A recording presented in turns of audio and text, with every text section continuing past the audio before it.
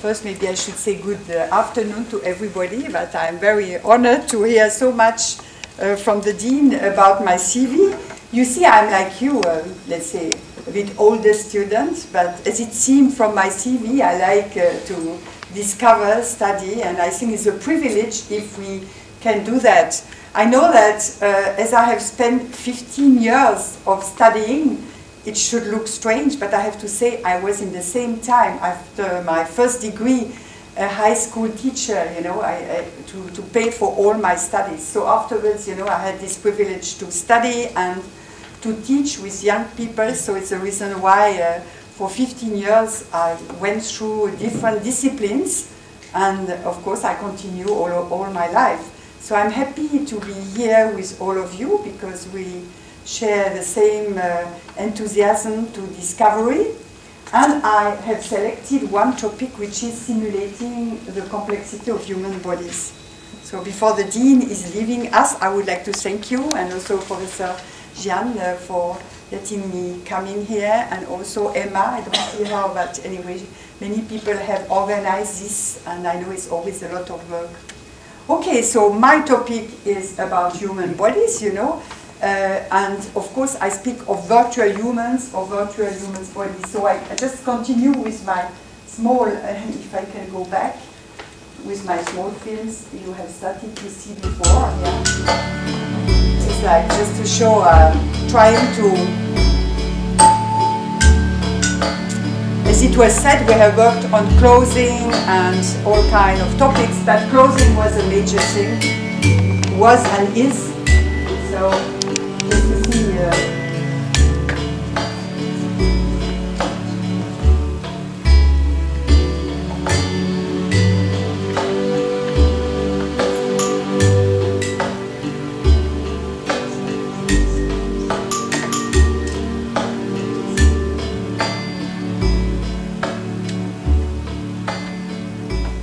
Okay, for the one in animation, you see we try to do in my lab is very interdisciplinary uh, I speak of my lab in Geneva. We, since uh, when I came to create this lab in 89, since then we have uh, designers or animators or what is the name. So it's completely a mix of different people.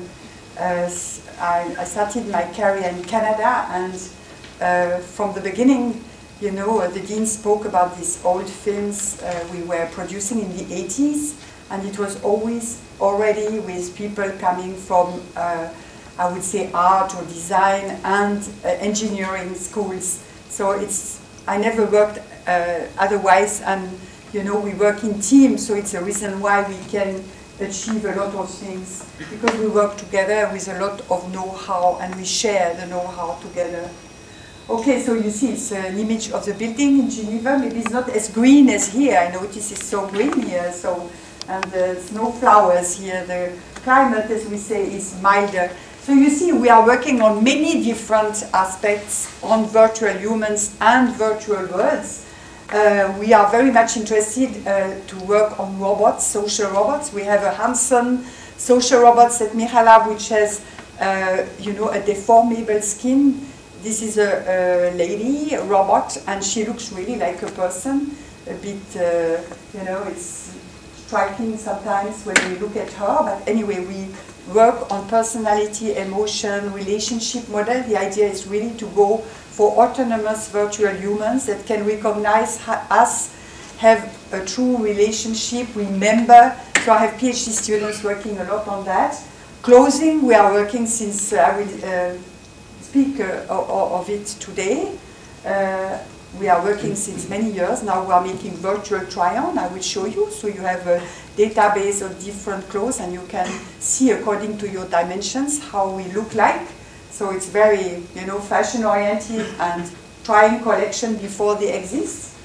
And of course, we have worked on mixed and augmented realities. We have EU project which was very successful, which was a, a simulation of life in Pompeii. So we could go with 3D glasses and we, we could see the Romans in cafes and so on and eventually interact with them. So a lot, as you know, I have more than four uh, FP7 projects, EU projects, so I have participated to all kind of research. And if you see, uh, otherwise, uh, I had another EU project which is on PDAs and phones, you know, to be able to uh, more multimedia project. Uh, and what uh, are, is also a big topic today is the medical simulation. So today, out of this, what I like to speak is the creation of body, and you know, it's a human, virtual humans, how it is today in most films and application like game, and how it will be more and more uh, based upon medical knowledge, which I believe is one of the research of the 21st century. I believe very much in it. So it's what uh, I will talk to you today. Okay, so let's uh, go next. So the topic of human uh, bodies. So you see we are not all the same. And what I will say next is even in the interior of our bodies, we are not the same. I mean, our, the size of our inter, interior organs are not the same. So that's quite interesting. You see, uh, we are all the same, but different size. And we have tried since many years, I have several PhD students working on the topic of uh, modeling humans. Of course, in many films, you have some designers making a lot of efforts to make special effects, looking the human perfect.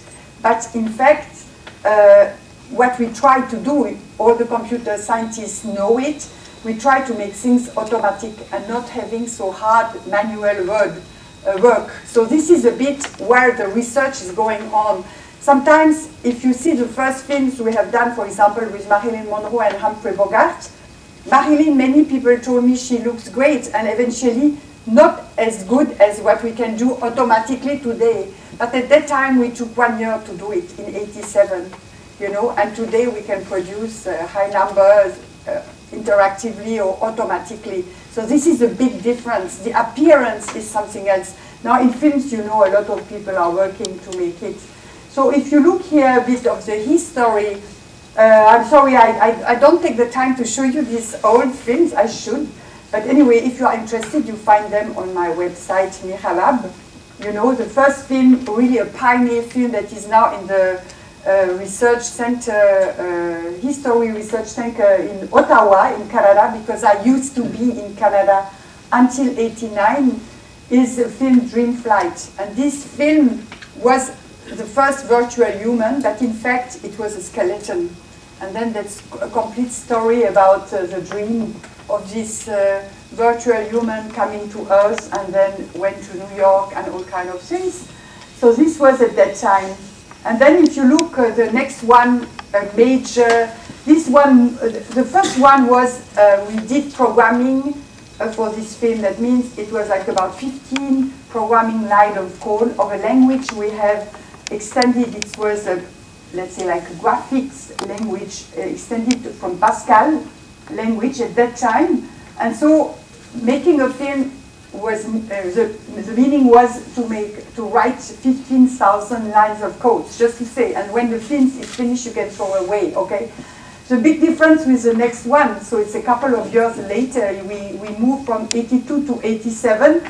Then it's like an ancestor of Maya and all this kind of thing, uh, or software, uh, commercial software. And this, we have some, let's say, commands to define virtual humans, motions, and so on. So there was no more programming. We have high-level language. So it was also something largely shown and published. And this was also shown at the Modern Museum Art in New York because it was like select has award in terms of artistic award. You know, the fancy things after my, my quantum physics PhD is that when we got Dreamflight, we thought, okay, we will get awards in terms of algorithms. No, we didn't get so many awards, but the awards came upon uh, art, you know. So, and then it went on with with the story of Marilyn and Humphrey meeting in a cafe in Montreal.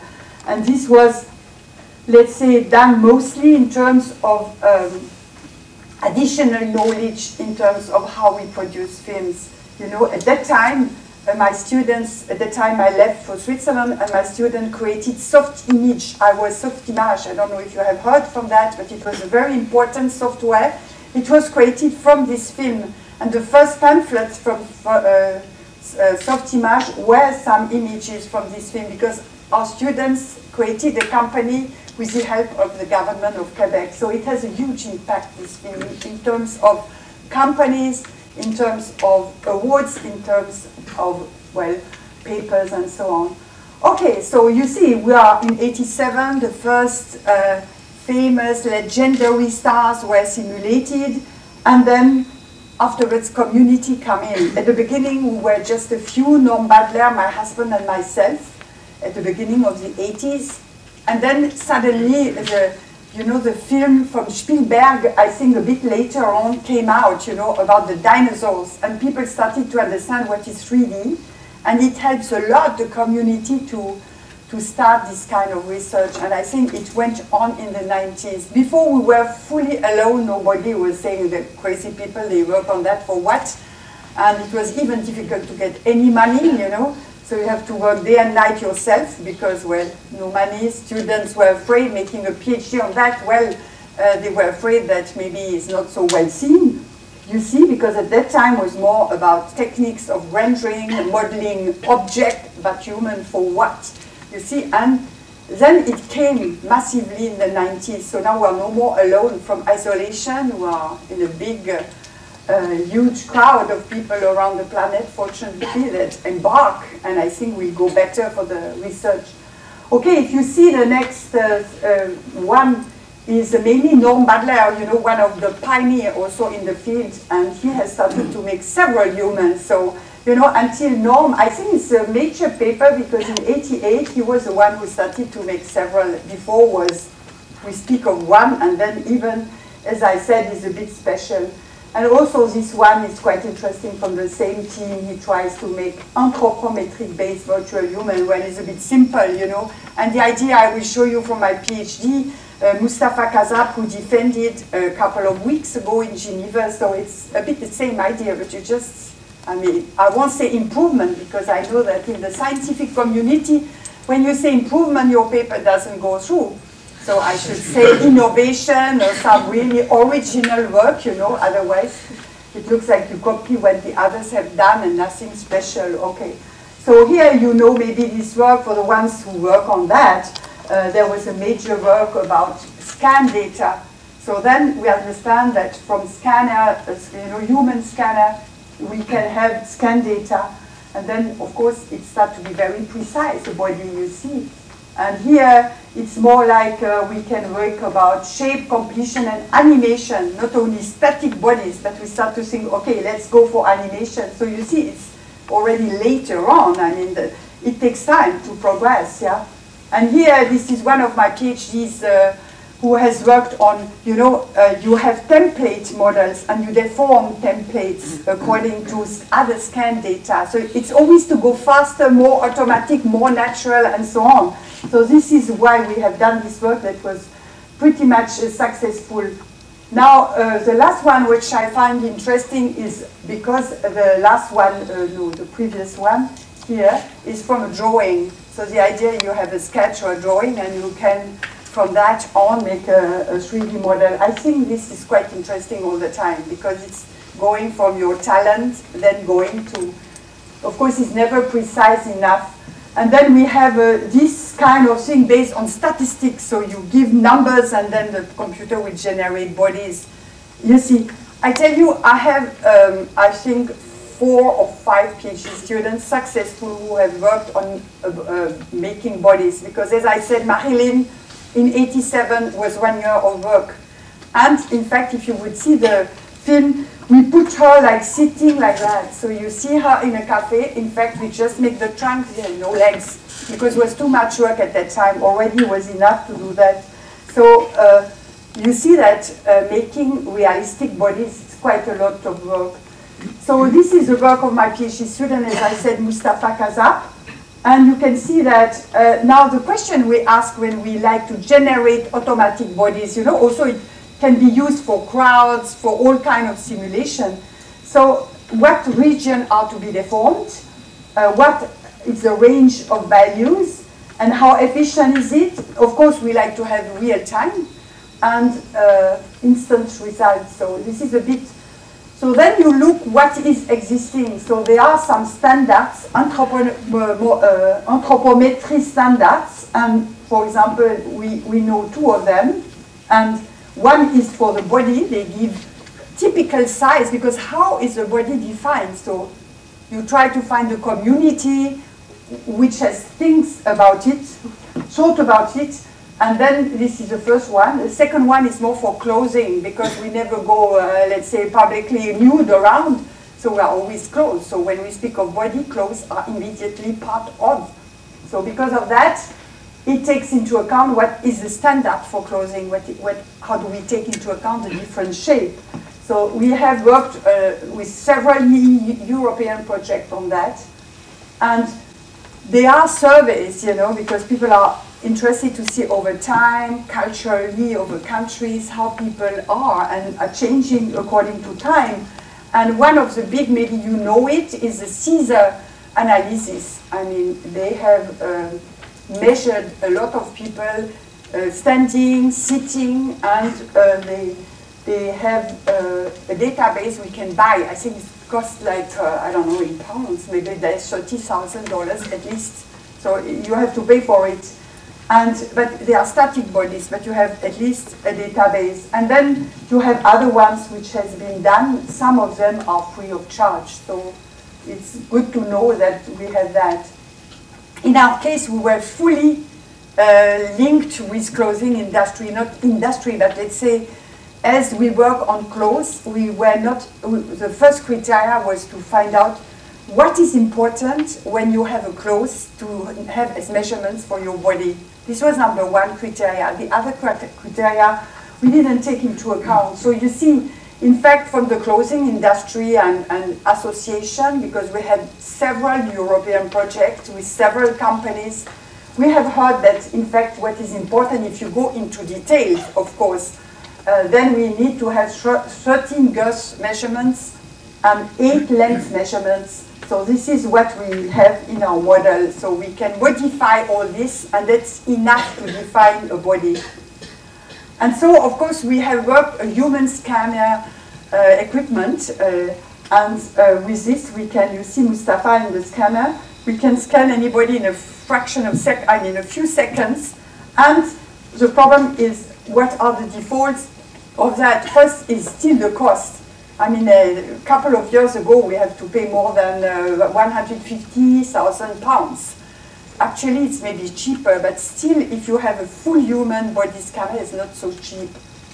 And this is not uh, uh, enough, because what you see is, in fact, we get millions of points, but a lot of data which are uh, not so good. We will see here, uh, first of all, what we get is this. So it's no meaning you have to structure that. I'm sure among you, some of you are working on meshing uh, from point clouds, so this is research done everywhere. And what is uh, good to know for the ones who don't work on that, and it's what we see, in, we don't see it, but it's empty. Everybody, virtual body you see from films or whatever who looks so great, in fact, if you make slice, uh, slices is nothing inside. It's just the surface, a colored surface, a very, uh, let's say, rendered surface. So, and this surface is just deformable. Now, how is the question? All is fake. Because even in the animation today, uh, you know, it's normally in uh, nature, you have a muscle contraction that moves the bones. But in, in animation, you have the bone that move, and eventually if you have muscle, they will modify. Uh, uh, but you know, it's exactly the contrary. So everything is fake. It's just effects.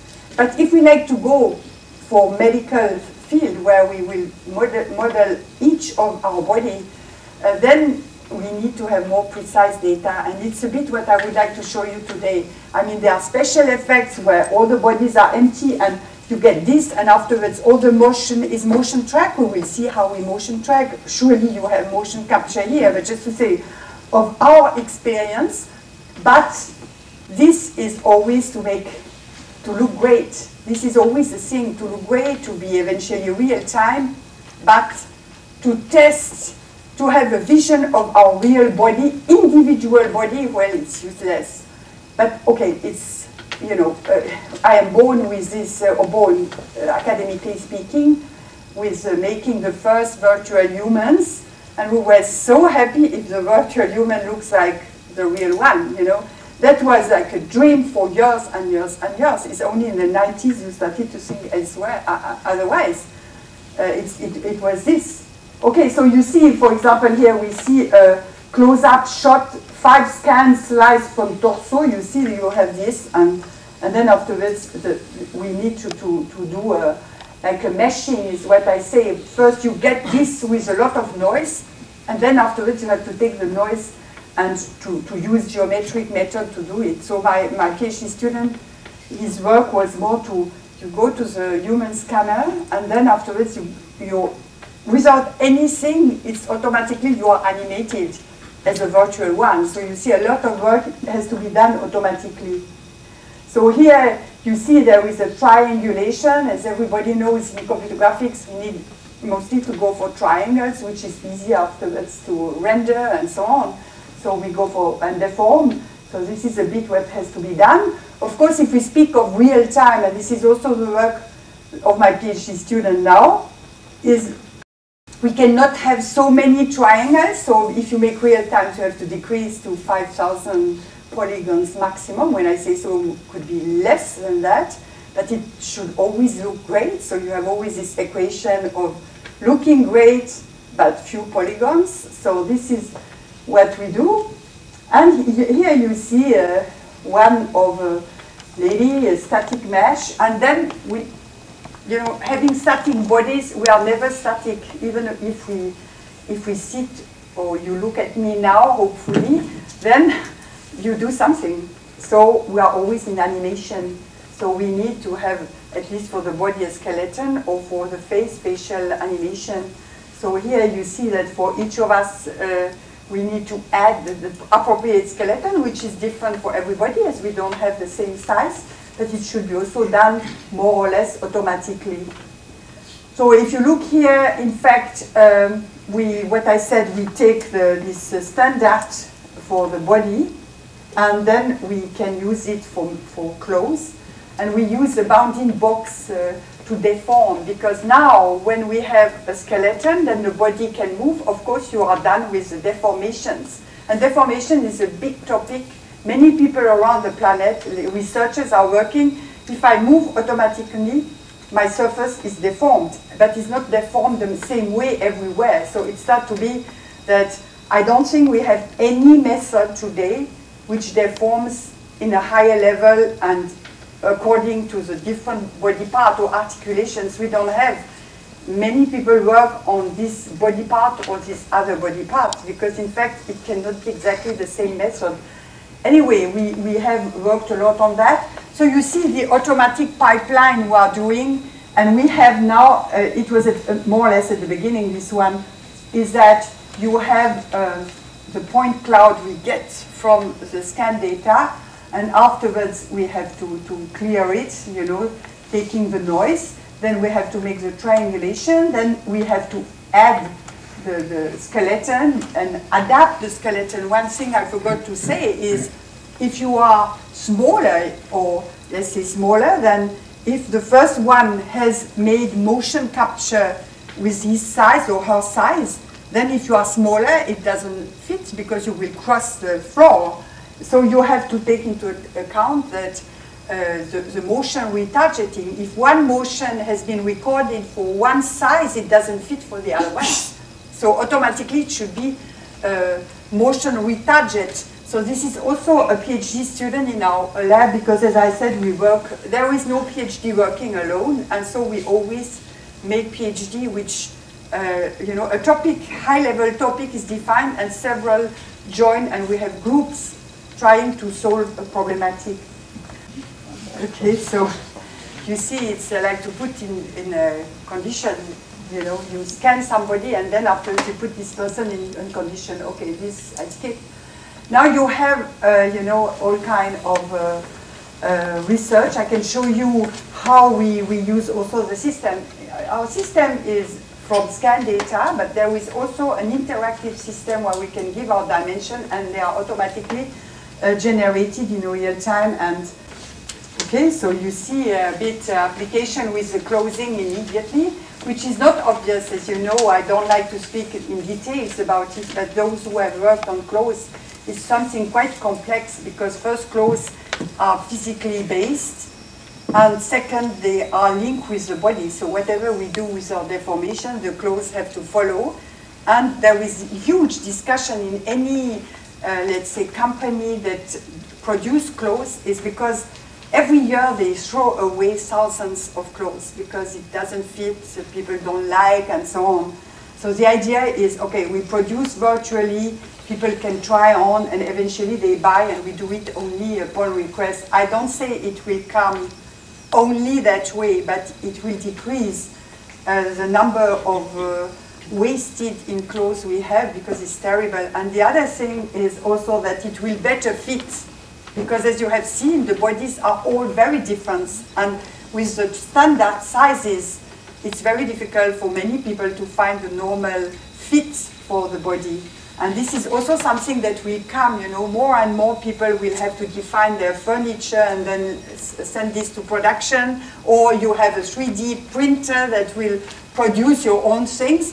And we can imagine it's the same for clothes. We can, you know, give some guidelines to some people and everybody is creative enough. In fact, if we're educated like that, we can also uh, be creative and then we can produce some kind of style and afterwards having the computer calculated the clothes, sending this to a print, uh, 3D print, I mean, taking the clothes into account, the quality of the clothes. At least we have been working years. It's, we have started this in 89, so you see it's a long way, and I know pretty much the problem now, the market uh, with all these ideas, what they would like to have is let's say to press just buttons and today is not possible because we to clone somebody it takes time. To make a clothes by computer it takes at least half an hour and all that if we make a t-shirt in half an hour interactively then the company won't pay because you have to pay the person plus computer plus everything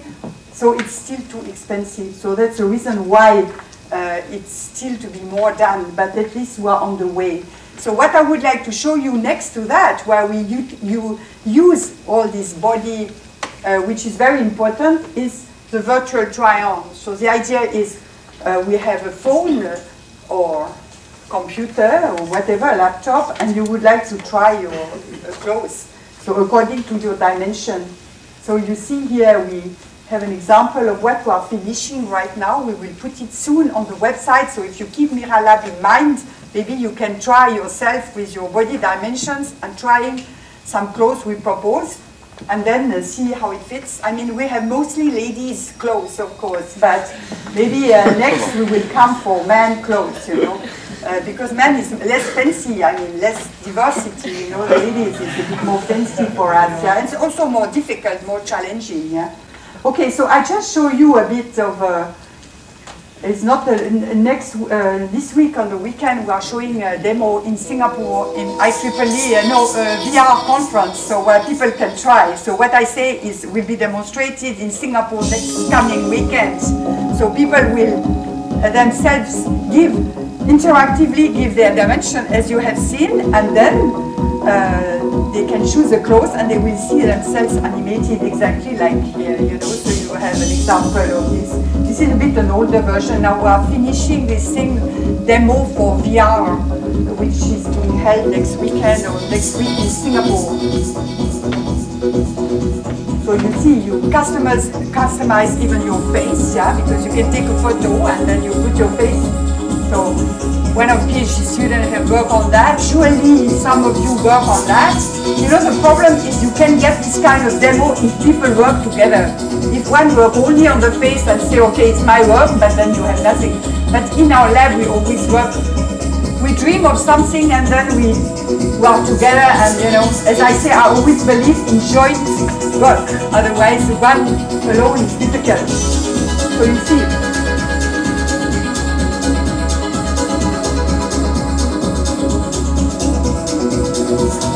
I hope to put this on the web soon, so available for everyone, you know. this is a dream for five years. We should have finished long time ago, we had always problems, motion retargeting, uh, all kinds. The real-time aspect of clothes was nightmare. This was a real-time simulation because normally clothes takes more time.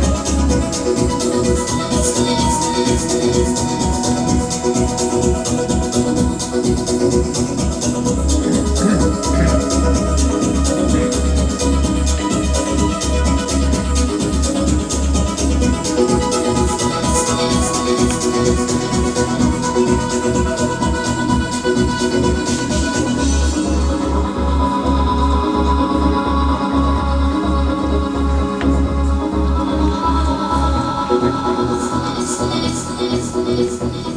they are normal bodies because it's not just, uh, you know, mannequins, because it's real bodies. So you can see afterwards we will add decor. So you go to a party or whatever, you see how it would look in the decor. And you can ask to Facebook, whatever, uh, friends, how do you feel I look like if I have this? You know, it goes, I, I mean, there's a lot of possibility in this.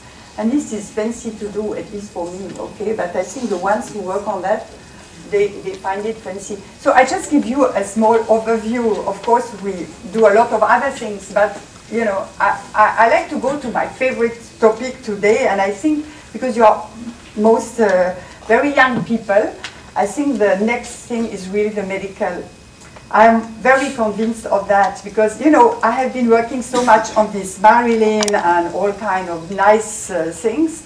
But at the end, you think, how can I do my work which is a bit more useful? Of course, you, you produce methods to make games and people are happy when they do games, at least most of them, okay. But in the medical, you have the impression that eventually you can help you know, that people are more healthy, and it sounds a bit more uh, important. So that's the reason why I like to introduce this. Surely some of you, and Professor Jian uh, has a lot of expertise also, and I think many researchers here. So I'd just like to show you a bit what we have done in our project, EU project, which was a Marie Curie project just finishing, and it was really anatomical human. So just to see that you have seen before my all in the films avatars which look great. You have seen how it is. It's just a surface, okay? Now if you look, in fact, it's how we are. And you know, for face, you have 20 years of research to be able to determine what is the features and what is the animation, and still going on. But imagine when we have to, the internal organs are as different as each face. I mean, we don't have the same stomach in terms of uh, position, exact position. And in medicine, you have to, to work very precisely. Otherwise, no medical doctor will be able to work with you. So we have a long experience since more than 10 years to work with medical doctors. So you see here, you see a bit of, uh, exa for example, uh, we can have uh, all this. Uh, and, and here, what is interesting just to remind is in fact, we have 206 bones, but they are articulated. And uh, we have 650 muscles and tendons. And we have connected soft tissues. And what, you know, if we wouldn't have them, we would have the bone uh, working together and we, would, we, we, couldn't survive, we would have so much pain. So thanks to cartilage, ligaments, and these uh, connective soft tissues, we can move without having pains. So it's very important and we will see that, uh, in fact, um, if we look, and it's what I, we have been working since 10 years with medical uh, professors in Geneva, uh, we have here a simulation of articulation. And what you see here is an image we can get in the MRI tube, because here we don't build people from dimensions, because dimension is good for uh, external surface. But now here we go from images that the medical doctors get when we are in an MRI tube. So, and then what is interesting, this is static, is what they see today. They have that. But what they would like to have is our 3D reconstructed organs and to be able to see how it, it, it moves in real time or eventually to forecast what could happen if. So this is what is being asked today. And in fact, it's very, very useful because you see that we have a lot of diseases because we have problems with our articulations. And we see that there are 100 million people in Europe which are affected.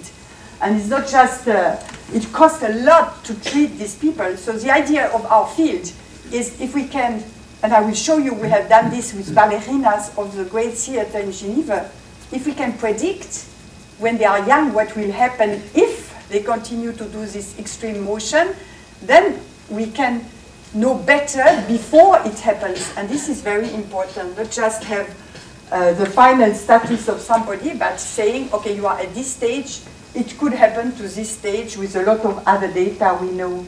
So this is a bit what is what I explained to you, you know, when the cartilage which protects the bones over the age and even young people, because this lady, beautiful lady, you will see the dancers, ballerinas, they have problems of cartilage because, well, the reason is not known, but uh, then they have very high pain. And if we know that the, the you know, dance ballerinas, at the age of 40, uh, almost 80% uh, of the ladies has to go to hip surgery. You understand? So that's, it's predictable. Maybe we could do something before you know, and when you go for hip surgery, very often it, it is only for 10 years you have to start again because it doesn't hold for the rest of the life. So you understand that this problem is very important. Okay, we have started here again as really pioneer because we started in 93. It was the first European project, the name was CHARM. And I can show you a bit, it will look a bit old, but okay, you, you, you will see. So at that time, I don't know if you remember, at that time there was a, a, visual uh, data set. There was this guy in America that was put to death, well, unfortunately, and he gave his body to science. And the first time in history, some people sliced it, and so we can go through and see, and we can afterwards segment. So we have at that time, we had this database, otherwise would be impossible to have. At that time, we didn't have any images. The medical doctors were keeping their images for themselves. You couldn't get anything at that time. And that's the reason why uh, we, fortunately, we had this database at the moment we started the, the work on this project.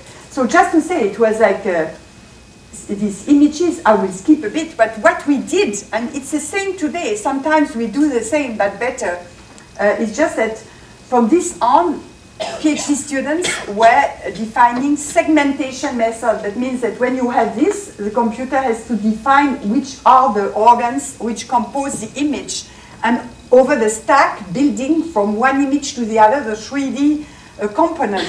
So at that time was highly interactive.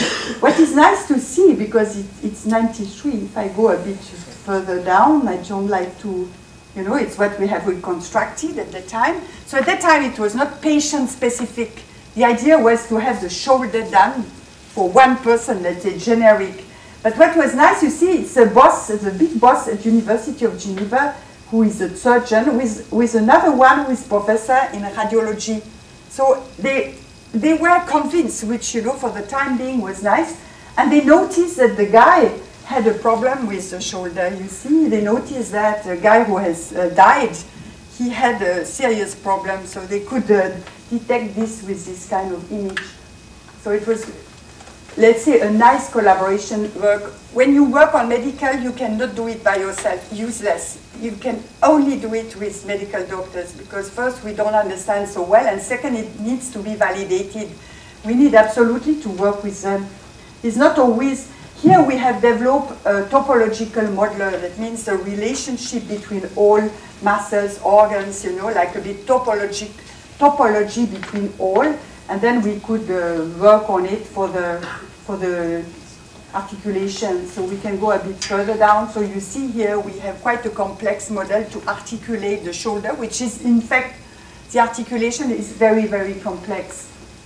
And uh, we were in Lab responsible of the 3D modeling from segmentation and other were uh, responsible of the kinematic aspect or the finite element model to uh, model the deformation of the muscles. So because you remember in the real life, the muscles, once they contract, they can uh, allow the bones to move, which now in the virtual humans is not like that because there is no muscle. So, okay, if we look at that, you, I, I, think we have seen most of it.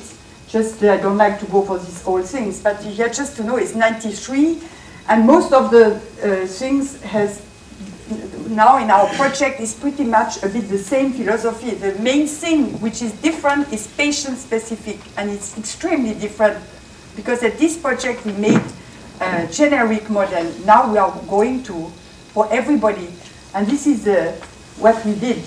So here, uh, you know, when you start, and it's so much to do, I tell you, we will be busy, and you will see it more than myself, of course, uh, hopefully, that uh, we will take all the century because it's so much work to do. I mean, we are totally at the beginning of that, to model organs, animate them, but it's just, just animation to look good. It should be millimeter based upon prediction model that are believable, you see, so it needs a lot of work. So we have worked on the hip this time in the last project, as you can see. It's quite interesting uh, because it's composed of soft and hard structures. And uh, in fact, the articulation is like a ball and socket joint, and we do a lot of uh, movements thanks to our hip. And what is also important is the hip supports two-thirds of total body weight. So if you have problem with the hip, you can imagine that it uh, prevents you uh, to, to do a lot of things. And of course, a lot of forces are transferring to the hip. So this is quite an interesting articulation to analyze. And so what we, we were doing, you know, you have here these ballerinas. Uh, one medical doctor in Geneva, a surgeon, is the medical doctor of the Grand Théâtre of Geneva because this lady has oft, so often problems with the hip. And we have been working with 30 ballerinas of this Grand Theatre. And we have the support of this medical doctor who sees each one, and each one was scanned with MRI. So we get for each one data and they went for motion capture, you will see how we have worked. But let's say, why these ballerinas? As I said, uh, they had problems of uh, osteoarthritis. But why when they are 20? You know, these ladies were around 20. Why do they have that? What is the cause? So nobody could say what. Obviously, we could say, okay, they make extreme motion is because of that. But that, it, it needs to be proven. So, uh, because it's a huge problem, uh, we speak of ballerinas, we can speak of football people, all kind of people who do a lot of sports. It's the same. As myself, I like art and, let's say, simulation. I prefer taking uh, ballerinas, but of course we could have taken uh, tennis people for the elbow or soccer people, it, it doesn't matter. So you see, there are some information to know, for example, is the hip overloaded or is it repetitive movement? So that's all kind of things and to, to, to discuss here. So if you look here, that's uh, the problem of this lady. They have high pain, loss of mobility, and uh, it's, of course, economically, uh, as I said, it's very difficult. So that's a bit all the study which is done so how do we study that when you start? Because when it is a generic, okay, you have seen you can do once and you are happy. But when it goes for each of us, we should have our hip simulated, or let's say to start with our 30 ballerinas, we need some uh, framework overview. So the framework is, first of all, you see in the tube we get for each one the MRI data from the hip.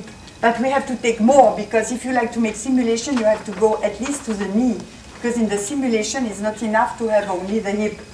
And then afterwards, we, we need to have segmentation, as we can see, segmentation. So segmentation, I have a PhD student, also defended his PhD very recently, and he worked on more automatic method. That means that you give this stack and this computer is able to detect which is what and reconstruct. So very few interventions. Uh, the problem is, is very uh, articulation specific. Here too, there is nobody who has proposed a method that can be applied to the shoulder or to other articulation. It starts from scratch for each of them. It is very dedicated today, so it's, it's a lot of work to do. And you see here what we can do is we like to have simulation because you remember we don't have only the bones. We have cartilage, we have ligaments, and when we have problem, it's because the cartilage is destroyed. So how much is it destroyed when the person is moving? Can we estimate? And then we need to simulate this part. And what we need also is the external of the person. So what we have done, you know, the scan data, it works also for that. So we have the external data, and then afterwards we register with the medical or let's say the anatomical part that come from MRI. So this is a bit, and here we, we have put this in volumetric meshes in order we can make true simulation uh, of the cartilage and analysis of what happens. So just going through about this method, uh, about what we do, you know, I don't know if you are familiar with MRI, but let's say I just, because myself I have to start it from this, maybe you are more familiar, but let's say when I started I was wondering myself, what is it? So I understood that uh, you, mostly what is tested and produced for the image is the water, but you know, in fact, some uh, atomic nuclei has, uh, let's say, a magnetic moment, magnetic moment, and when you put them on the tube, they, they can uh, move uh, and they have like a signal. And this signal, when they relax back, then it's what is recorded. So in fact, uh, we have two kind of data that allows to produce the image is the relaxation time when the nuclei relax. So uh, it can be either longitudinal or it can be transversal. And depending on which tissue, they react differently. So it's how they can get this kind of different uh, image. So in fact, you see here, it took us one year just to say how long it takes. You know, it was huge effort with medical radiologists, professors, and also to get the, you know, the links because they don't like to be disturbed. These people have a lot of surgery to do, and if you come for long-term research, they say good. But today I have patients not so much time for you. So you need to, at least we started in the 90s and now they are open, but it, it was not automatic, let's say. And so what you see here is some protocol of how we can get good image because normally MRI data you see mostly soft tissues, you don't see the bones. For the bones you take CT data. So CT are invasive for ladies, it can be dangerous. For example, if we have the hip, it can uh, touch your ovaries or this kind of thing, so it's not good. So that's the reason why we take MRI. And because of that, you see here that we have made one year different protocol until the image is so clear that for segmentation we can use it, otherwise the computer doesn't see the difference and cannot do it. You see, so that was something. Here we can see that from one trans uh, longitudinal uh, view, we can have different uh, resolution. So it's not obvious that we have to take only the same. So from one view, you can take different resolution and recompose and understand. So this is a research in itself. We have a lot of people working around the planet on that, maybe in Bournemouth too. So here we have also work on dynamic MRI. When you are in the tube, now you can move a bit, not so much because you are in the tube, but you can move. And then in real time we can record uh, the, the image. And you can see, and this is good for validation when we have reconstructed. Now what they do, more and more, they have open MRI. So it's like, uh, you know, you stand, you are in the open, so you can move a bit more. It's not like in a tube as you will see, it's, it's something better. Okay, so then we have this image, we have made a protocol, but to start with, with our methods, we are based on, uh, let's say, uh, example models. So that means that First of all, we have uh, these images, but by, by, by, hand we started to have perfect model, which we named generic model, to help afterwards the automatic construction. So the idea you have perfect generic model from someone, and then with the new images, it will change register uh, for, from this one will change towards the new data of the, the specific person. So you see here how we work. We have the lower uh, limb, and here we have other, other things. High resolution knee, we have in detail the knee. So if we have problems for knees or, um, let's say, hip, we have at least the perfect 3D model, and then this 3D model will be changed according to individual data. So it's what I say, we go for individualization. So The other part was pretty hand done with the medical doctors together. And then afterwards, this generic will adapt to patient-specific data. So we have model-to-image uh, registration. We have also the skin registration, we will see, and we have motion computation. So in fact, for those who are working on that, I don't like to go too much in details for those who don't know about it, but just to say that this is a complete intensive research. And in fact, the generic mesh, you remember what we have anyway, if it's if we reconstruct muscles, bones, and so on, it is also so lumped mass particles. And this, as it changes uh, according to time, is subjected to forces. So we have, in fact, to take into account two kinds of forces. The internal ones, which are based on mesh configuration, and the external one, which are based on external factors like image and collision.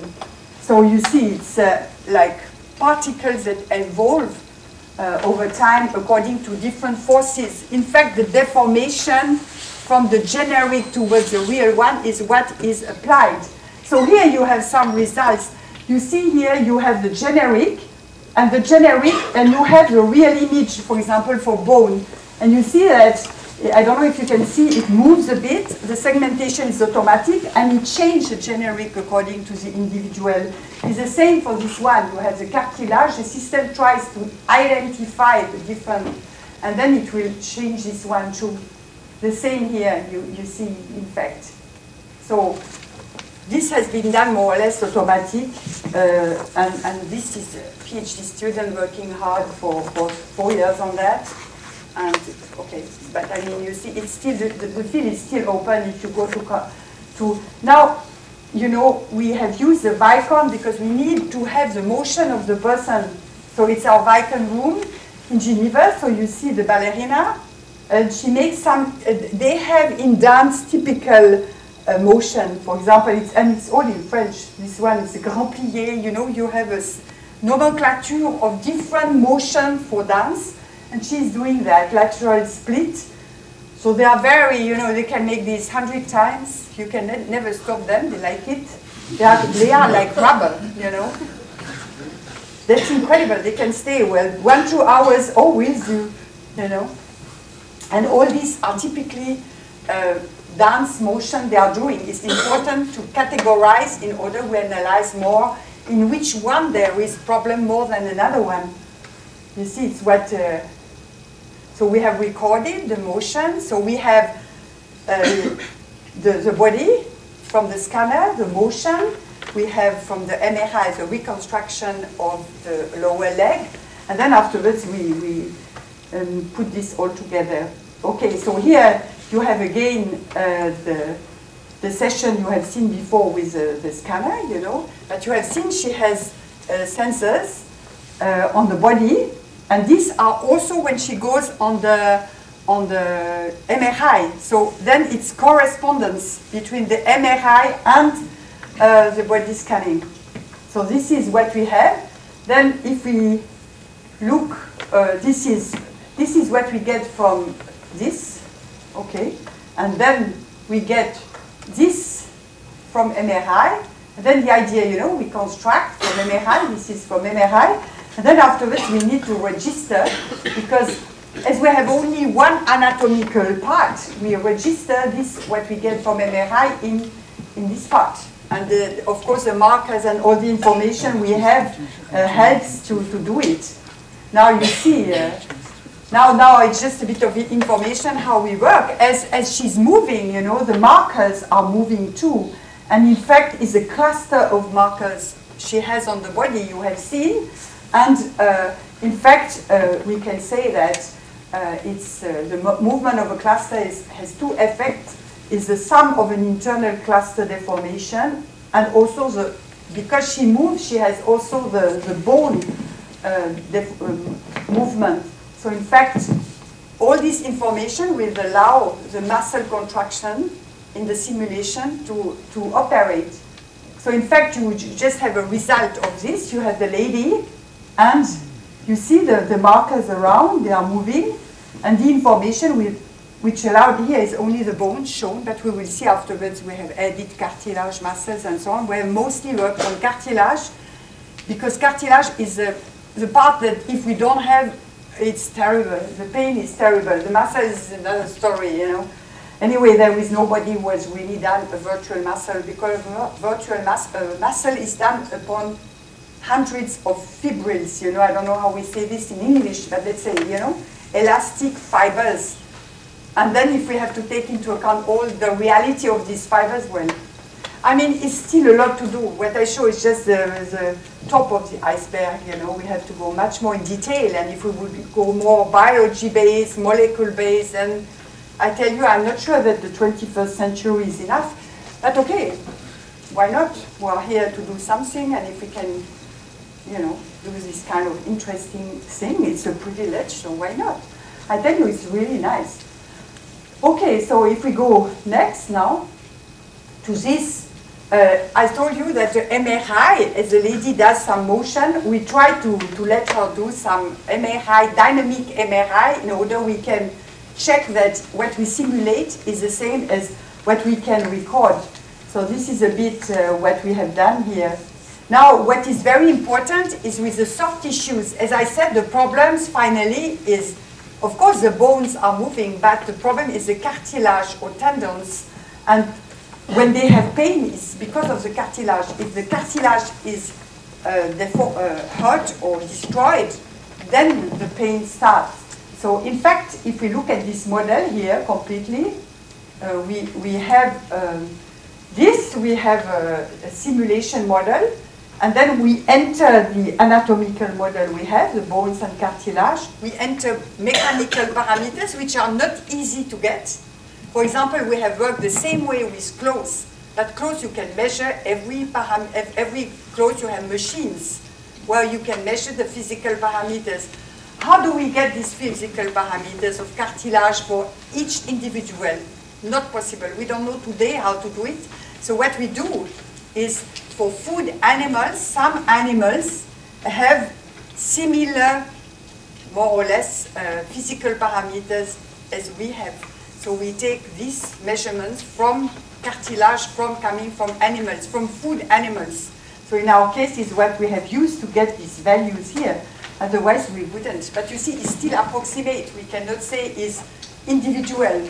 But maybe one day will be some new method, measurements, you don't know, with, I don't know if it's X-ray or whatever, I just say like that, that will allow to know the physical parameters of our uh, soft tissues. I hope at least it's open topic. And you see, because I said that when you simulate, you have to simulate in actions, we have to know, according to the weight of the person and different other weights, we have to put loads in order we can simulate the, the, the behavior of the hip.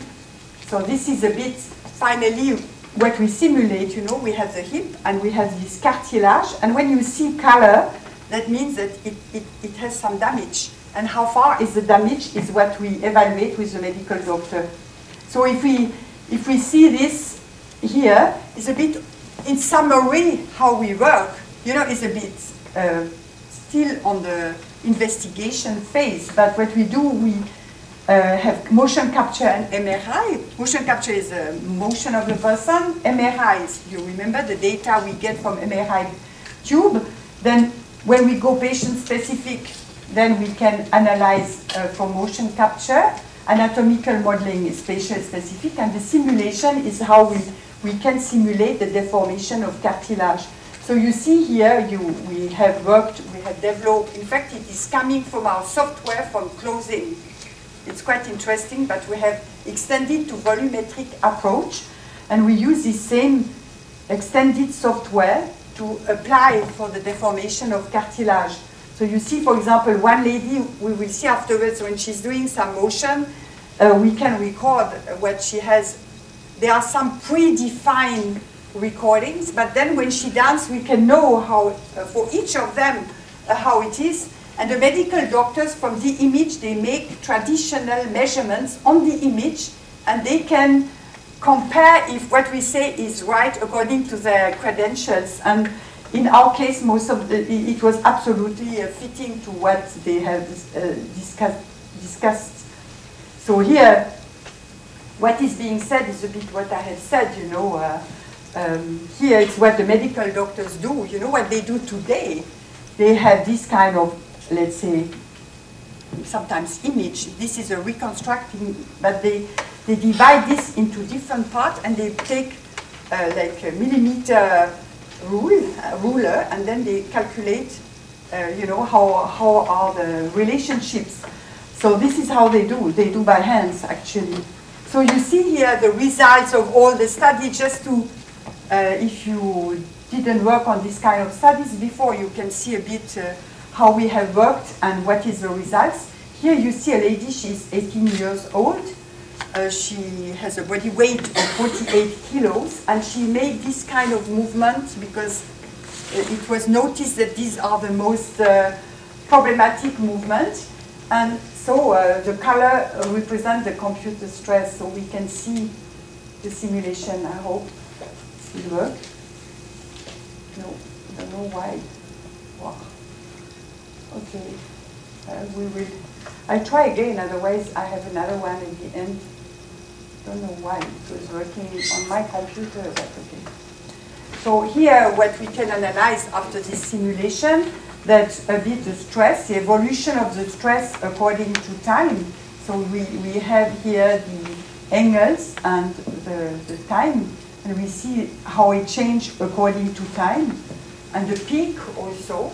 So we, what was noticed that the stress peak is located in the superior region. Unfortunately, I couldn't show the slide, the, but you will see other one, uh, final ones you can see.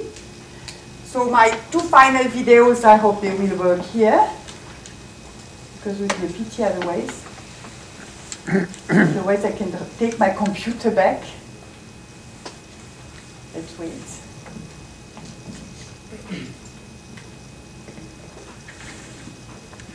Huh. I was too impatient.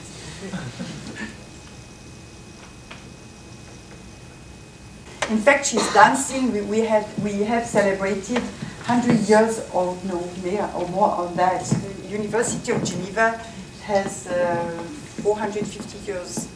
And we were asked to present this to a big audience. And then the lady was dancing on a big table. And when we could see, and it's what I like to show you, but okay, uh, it's in my other computer, but my other computer has no sound, so I moved to this one, which we cannot see the film. Well, it's maybe worse, but okay. Uh, but what we see is she's dancing, and we can see all the deformation when she's dancing.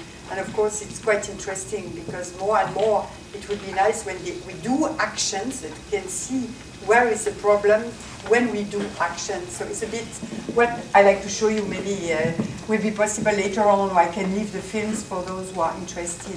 So this is the end of my presentation. I thank you so much for uh, listening to me and coming to this presentation. Yeah, thank you.